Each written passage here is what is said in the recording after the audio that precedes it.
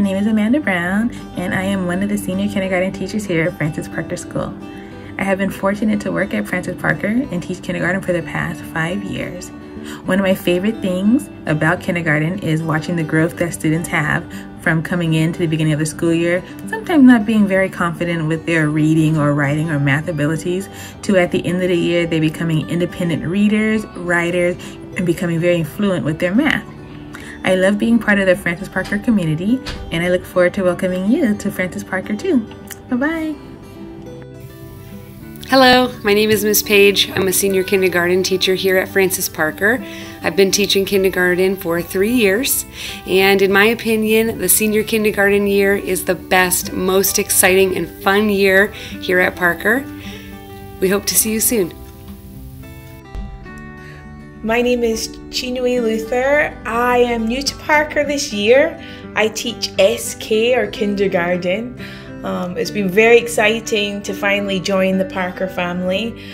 Um, previously, I was at, um, teaching kindergarten in uh, New York City um, at the United Nations International School, and it has been wonderful to move to the West Coast and find a school where their uh, the mission statement and values resonate with my own as an educator such as a student centered focus and an inclusive, positive community. Um, these are all things that I love about Parker. Even only being here a few months and being on campus, campus a few months, um, the, it has such a wonderfully positive environment. Um, teachers, staff, and the children.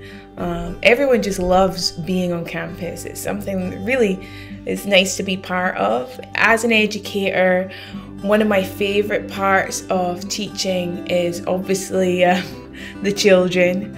Um, I love to support them to support them in their learning.